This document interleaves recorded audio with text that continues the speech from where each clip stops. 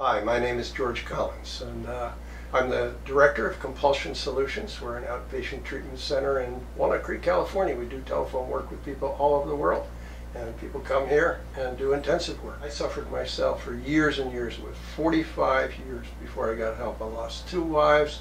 It was a mess. My life was a mess. I actually tried to off myself 30 years ago. I hate to think about that. So the other day I got a telephone call, and that's one of the reasons I'm making this video right now.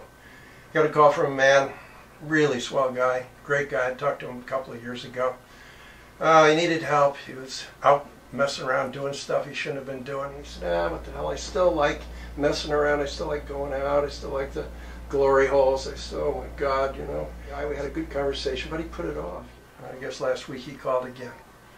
And this time he called and he says, I want to work with you. And I said, that's fantastic. I remember you. And uh, yeah, I did. I remembered stuff about him. It was nice. And he said, yeah, it's a little late. I said, what do you mean it's a little late? He says, I got AIDS. Oh my God, he could have hit me with a stone, you know.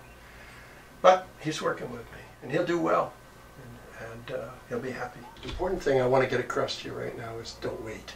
Don't wait. Could be AIDS, could be losing your family, could be losing your job, it could be money down the drain, it could be as simple as not having many friends.